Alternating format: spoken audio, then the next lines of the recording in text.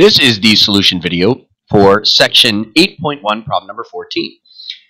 Consider the curve y equals 1 over x squared for uh, x between 1 and 6. Calculate the area under the curve. All right, so y equals 1 over x squared. All right, so what does that look like? Well, you should know what y equals 1 over x looks like.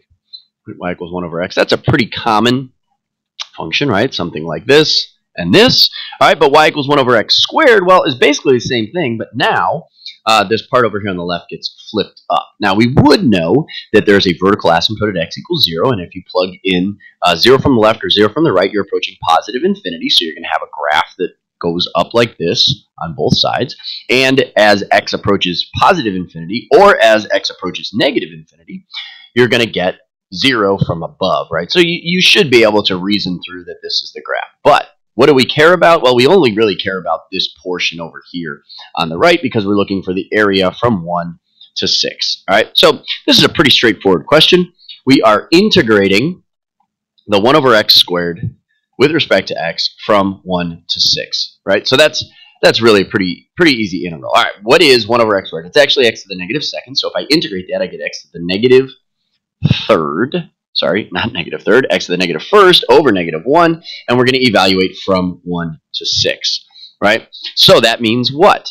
I have negative, right, 1, or sorry, negative, well, negative times 6 to the negative first minus negative, right, 1 to the negative first, right? So that would be negative 1 sixth plus 1 over 1, right? Which is like adding 6 over 6. And so I get 5 over 6, right? So that is the area under that curve, right? So that's part A, all right? Really not that bad, all right? But then part B, this is kind of weird. Determine C so that the line x equals C bisects the area from part A. All right, so I'm going to draw this again, right? Here's the area from part A, right? 1 to 6. All right, now, C is some value here where the vertical line bisects, meaning these two areas are equal, right? So if those two areas are equal, what does that mean? Well, there's a couple things it could mean. You could write that the integral from 1 to c of 1 over x squared dx is equal to the integral from c to 6 of 1 over x squared dx, right? So that's one way you could say it. Now, the other way you could say it, well, you know the total area is 5 6, and so you could say that the integral from 1 to c of 1 over x squared dx plus the integral from c to 6 of 1 over x squared dx is equal to 5 over 6. So either way, you're going to have basically the same equation. All right, so I'm going to choose the one on the first one that I did. All right, so it's important to remember when I have the integral, the definite integral, uh, x is not a variable in this equation, right? Very, uh, x is a variable in the individual expression. But remember, when you integrate, you get negative x to the negative first, right, from 1 to c.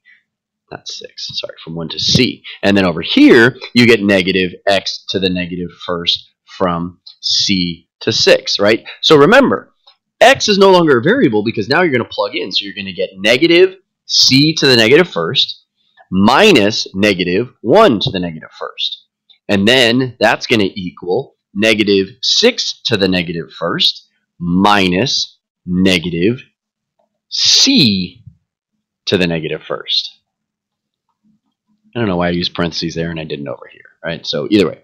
All right, so now notice this is an equation where c is the only variable in the equation, all right? So now what does this mean? Well, this means negative 1 over c plus 1 equals negative 1 over 6 plus 1 over c.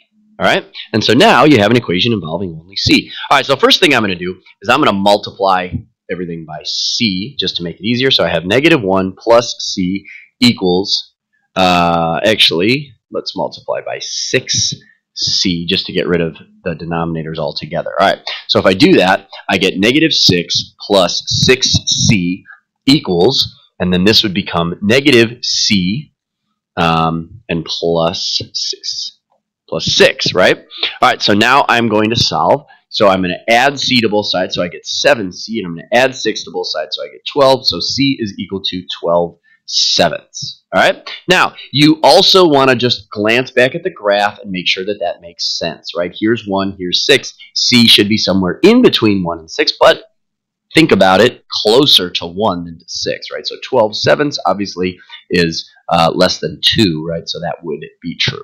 All right.